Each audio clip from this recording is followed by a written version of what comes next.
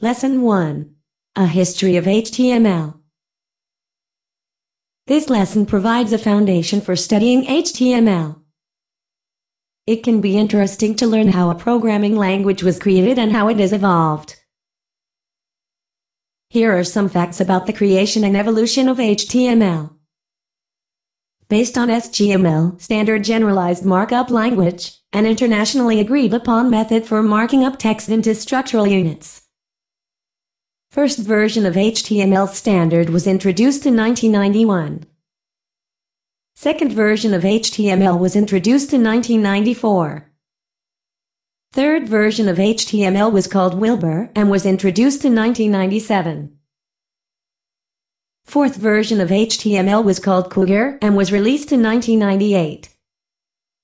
It would be over 10 years before HTML 5.0 was developed.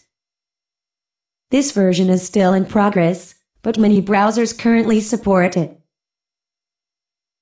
For this lesson's activities, read two articles. A History of HTML and the Evolution of HTML. At PAUS 3A quiz will test your knowledge of the information introduced in the two reading assignments.